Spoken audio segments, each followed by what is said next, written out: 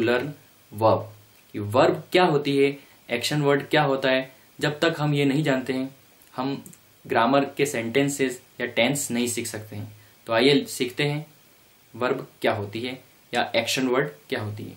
कोई भी काम जो भी हम करते हैं, उसको हम वर्ब कहते हैं। हिंदी में इसको हम क्रिया कहते हैं। तो आइए देखते हैं। वर्ब इसका अर्थ क्रिया होता है। A word which denotes action is called a verb ऐसा वर्ड जो किसी एक्शन के बारे में बात करता हो, उसको हम वर्ब कहते हैं। जिस शब्द से किसी काम के होने का ज्ञान होता हो, उसे हम वर्ब कहते हैं, उसे हम एक्शन कहते हैं। यहाँ पर हम कुछ एग्जाम्पल्स देखेंगे इसके।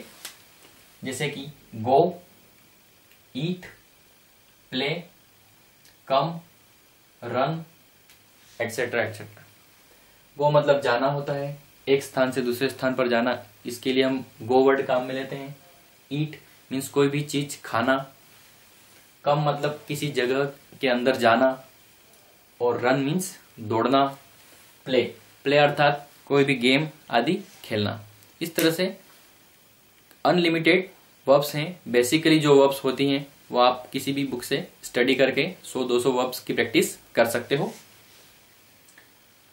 हम एग्जाम्पल्स को सेंटेंस वर्ब्स के एग्ज़ाम्पल को सेंटेंस में यूज़ करके भी देख सकते हैं। जैसे, राम प्लेस राम खेलता है, Mohan goes to school Mohan school जाता है।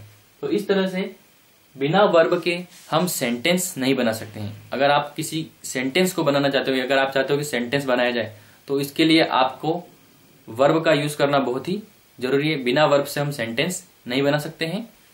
And there are three forms of verbs verb की थ्री फॉर्म होती है और एक और फॉर्म होती है साथ में, जिसको हम आईएनजी फॉर्म या प्रेजेंट पार्टिसिपल फॉर्म भी कहते हैं। तो देखिए, सीखते हैं क्या होती है वर्ब की forms present form past form past participle form और present participle form present form को हम फ़र्स्ट फॉर्म भी कहते हैं पास्ट फॉर्म को हम सेकेंड फॉर्म भी कहते हैं। पास्ट पार्टिसिपल फॉर्म को हम थर्ड फॉर्म भी कहते हैं और प्रेजेंट पार्टिसिपल फॉर्म को हम आईएनजी फॉर्म भी कहते हैं। ये वर्ब की जो थ्री फॉर्म होती हैं, उनकी भी अलग अलग कैटेगरीज हैं।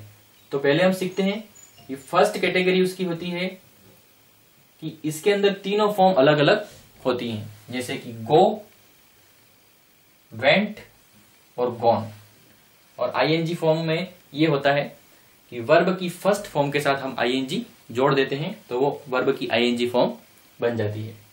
वैसे ही ईट एट ईटन ये हो गई वर्ब की तीनों फॉर्म और ये तीनों फॉर्म अलग अलग हैं। इसलिए हम इसको फ़र्स्ट कैटेगरी में रखते हैं। सेकेंड वर्ब की फॉर्म ऐसी होती है, जिसके अंदर कोई भी दो फॉर्म एक जैसी होंगी, जैसे कि प्ले प्लेड और प्लेड यहाँ पर सेकेंड फॉर्म और थर्ड फॉर्म एक जैसी है, इसलिए हमने इसको सेकेंड कैटेगरी में रखा है। Once again come came come यहाँ पर फ़र्स्ट फॉर्म और थर्ड फॉर्म एक जैसी है, इसलिए हमने इसको सेकेंड कैटेगरी में रखा है। और थर्ड कैटेगरी में ऐसी वर्ब आती हैं जिनकी तीनों फॉर्म एक जैसी होती हैं। For example cut cut cut यहाँ पर तीनों वर्ब की फॉर्म के अंदर स्पेलिंग में कोई चेंज नहीं आया है। सेम वर्ड तीनों फॉर्म में काम आता है। और जहाँ तक हम देखते हैं आईएनजी फॉर्म है। आईएनजी फॉर्म के अंदर कट का बन गया है कटिंग इसमें डबल टी आ गया है। तो ऐसा ज़रूरत के हिसाब से होता है, उसमें हमको अलग अलग वर्ड में अलग अलग वर्ब्स में ध्यान रखने की ज़रूरत होती है। तो अब अब तक आप समझ गए होंगे कि जो वर्ब होती है, उसकी कितनी फॉर्म होती है वर्ब किसे कहते हैं वर्ब के एग्जाम्पल्स क्या होते हैं वर्ब की इंपॉर्टेंस क्या है। बिना वर्ब्स के हम सेंटेंसेस नहीं बना सकते हैं, बिना बिना वर्ब्स के हम टेंस नहीं सीख सकते हैं। So once again we will revise it एक बार फिर से हम इसको रिवाइज करते हैं। वर्ब का मतलब क्रिया होता है। A word which denotes action is called a verb जिससे हमको किसी क्रिया का ज्ञान हो, उसे हम वर्ब कहते हैं।